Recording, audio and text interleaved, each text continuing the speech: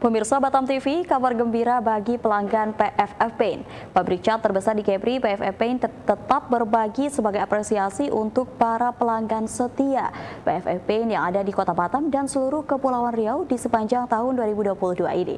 Tepatnya 27 Juli 2022 pekan lalu, penarikan undian periode Juli 2022 kembali digelar. Informasi ini sekaligus mengakhiri perjumpaan kita pada malam hari ini. Atas nama seluruh kerabat kerja yang bertugas, saya Putri Yulianti Amini mohon undur diri dari hadapan Anda. Terima kasih dan sampai jumpa. Uh, juga ada Bapak Edwin Timothy uh, selaku perwakilan dari Notaris Kota Batam. Pabrikan cat terbesar Gebri, PFFPN masih tetap mengadakan undian berhadiah PFFPN periode 17 bulan Juli 2022 dengan hadiah bulanan satu unit sepeda motor. Acara penarikan undian ini dilaksanakan di kantor PFFPN di kawasan Tunas Industrial Batam Center.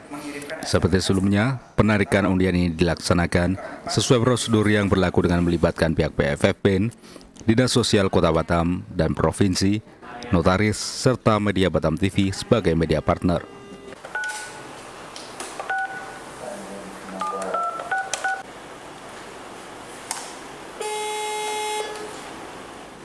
Penarikan undian kali ini dikhususkan bagi warga Kepri dan warga Tanjung Pinang yang sudah mengirimkan kupon undiannya ke PFFPIN melalui media sosial.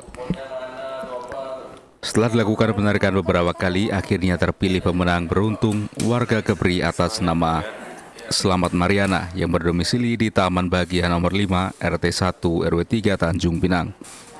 Di sini di PFFPN sedang berlangsung penarikan undian Lucky Draw ke-17 periode Juli 2022 disaksikan juga oleh Dinas Sosial Kota Batam, eh, pihak kepolisian dan notaris Kota Batam.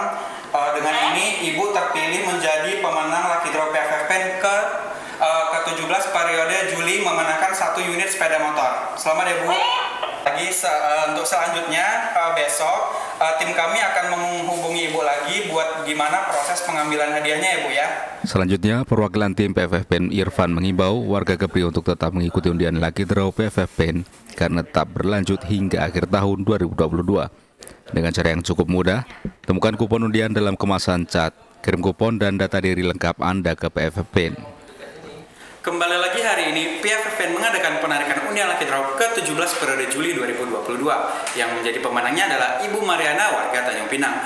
Untuk seluruh masyarakat Kepri yang ingin beruntung seperti Ibu Mariana mendapatkan satu unit sepeda motor dari PFFPN, cukup temukan produk PFFPN dan temukan kupon undian di dalam kemasan produk PFFPN.